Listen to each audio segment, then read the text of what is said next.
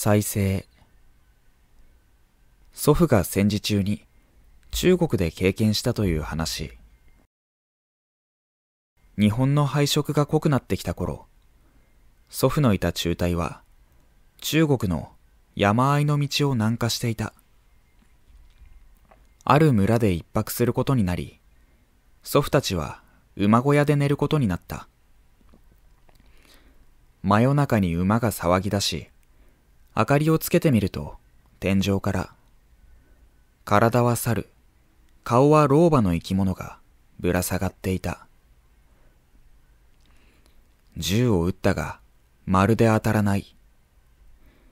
騒ぎに気づいた上官がやってきてその生き物を見て驚きながらも土地の人間を連れてきて通訳を介しお前は何者か何か伝えたいことがあって現れたのか？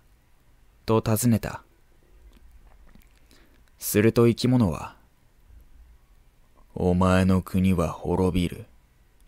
だが、三度の再生を果たすだろう。と言った。それはいい予言か？そうではないとも言え、そうだとも言える。